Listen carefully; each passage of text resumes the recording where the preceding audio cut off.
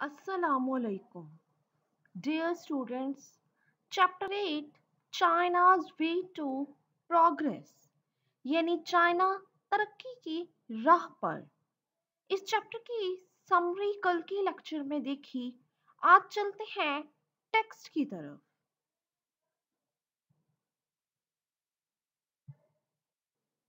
Chapter 8 China's way to progress China ने तरक्की का सफ़र कैसे किया?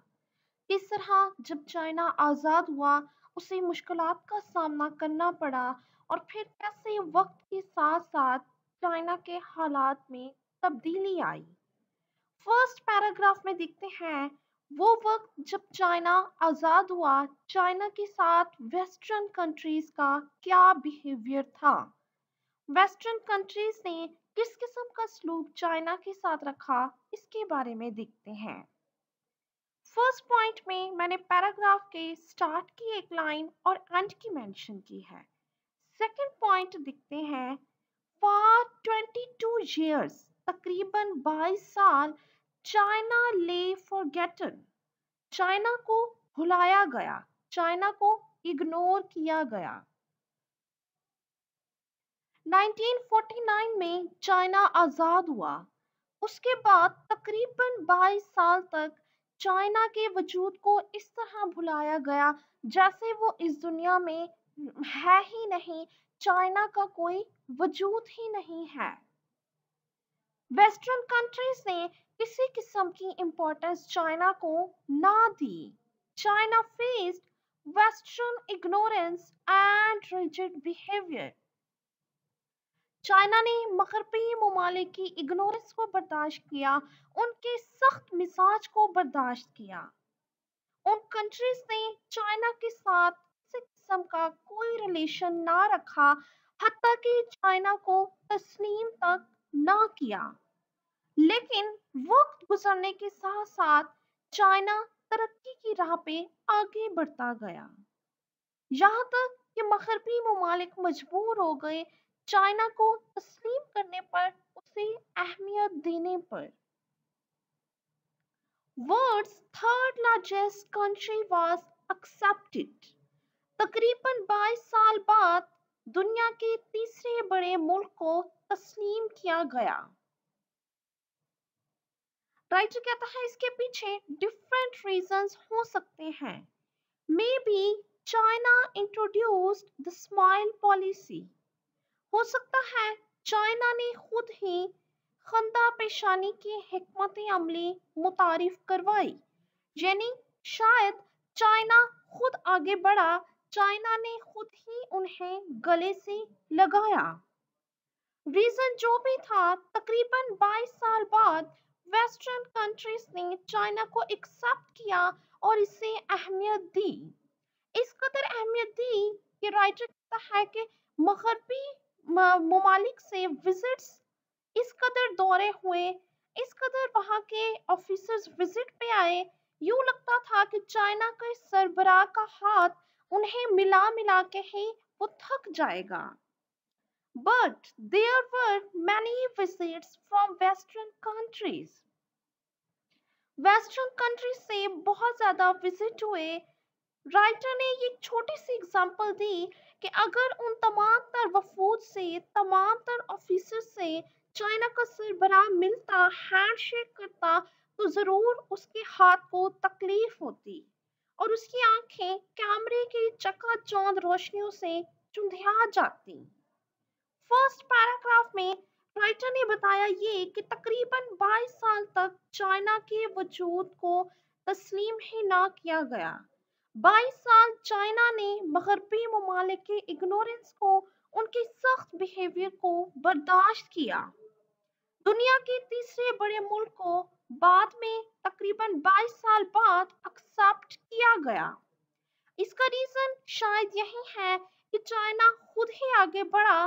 रीजन जो भी है, उसके बाद मगरबी ममालिक ने चाइना को बहुत ज़्यादा अहमियत दी। यहाँ तक कि उनके विजिट्स चाइना के सरबराह के लिए मुश्किल बन सकते थे। यानी इतने ज़्यादा विजिट्स हुए, इतने ज़्यादा वफूद मुलाकात के लिए आए कि चाइना की सरबराह के लिए मैनेज करना भी एक बड़ा क्वेश्चन मार्क था। ये तो है फ़र्स्ट पैराग्राफ अब चलते हैं सेकंड पैराग्राफ की तरफ़।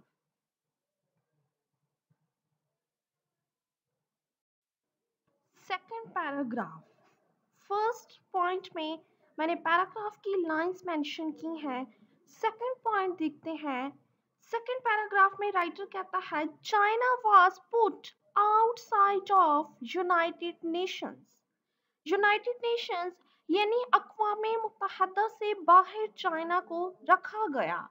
चाइना को अकवाम मुतहदा का रुकन ना बनाया गया। ये चाइना के साथ मगरबी ममालिक का रिजिड बिहेवियर शो करता है। Later there was a long list of awaited countries शुरू में चाइना के साथ इस किस्म का बिहेव रखा गया कि उसे अकवाम मुतहदा का मेंबर है नहीं बनाया गया। लेकिन बाद में चाइना को तस्लीम करने वाले, चाइना को अकवाम मुतहदा का हिस्सा बनाने वाले ममालिक की फहरिस्त बहुत लंबी थी। Later, there was a long list of awaited countries to recognize the People's Republic of China. China को तस्लीम करने वाले अकवाम मुतहदा का हिस्सा बनाने वाले ममालिक की फहरिस्त बहुत लंबी हो गई। यानी सेकंड पैराग्राफ में मगरबी ममालिक का बिहेवियर किस तरह चाइना के साथ तब्दील हुआ ये नज़र आता है। अब देखते हैं third paragraph third paragraph. First point में पैराग्राफ की लाइंस मेंशन है। सेकंड पॉइंट देखते हैं।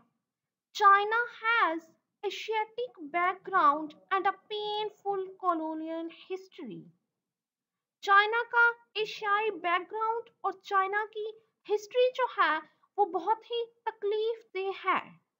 जब भी कोई एक नया मुल्क आज़ाद होता है, जब भी एक मुल्क नए तरीके से अपना सिस्टम स्टार्ट करता है तो डेफिनेटली उसे मुश्किलात और मुसीबतों का सामना करना पड़ता है। In 1949 nation lived a hard life उन्नीस में, यानी वो वक्त जब चाइना आज़ाद हुआ, चाइना ने बहुत से प्रॉब्लम्स का सामना किया। मुल्क के आज़ाद होने के बाद शुरू के साल हमेशा स्ट्रगलिंग होते हैं। शुरू का वक्त हमेशा मुश्किल होता है, यही चाइना के साथ हुआ। चाइना ने बहुत सख्त हालात देखे। They lived like animals writer कहते हैं, जब मैंने चाइना का विज़िट किया तो चाइनीज़ पीपल ने मुझे बताया कि उस वक्त उन्होंने जानवरों से भी बदतर ज़िंदगी गुजारी। फ़र्स्ट पैराग्राफ, स्टार्ट का वक्त हमने देखा कि किस तरह चाइना को नया मुल्क बनने के बाद भी 22 साल तक इग्नोर किया जाता रहा।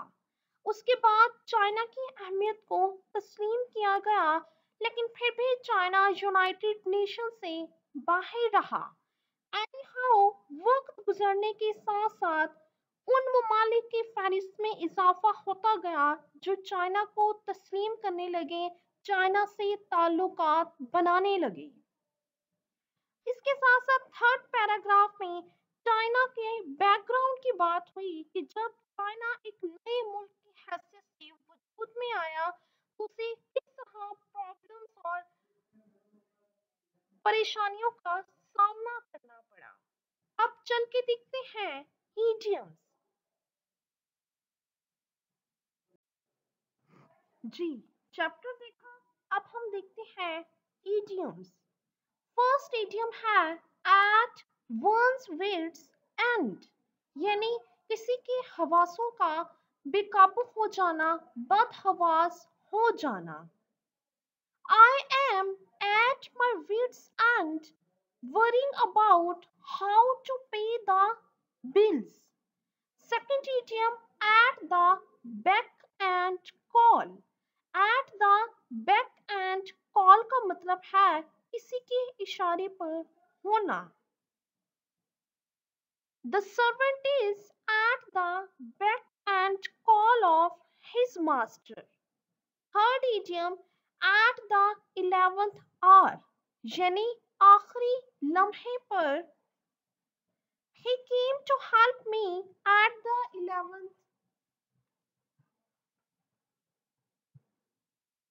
fourth idiom bed of roses यानी फूलों की says, life is not a bed of roses fifth idiom है बिफोर लॉन्ग, यानी जल्द ही। Before long, all our friends will be here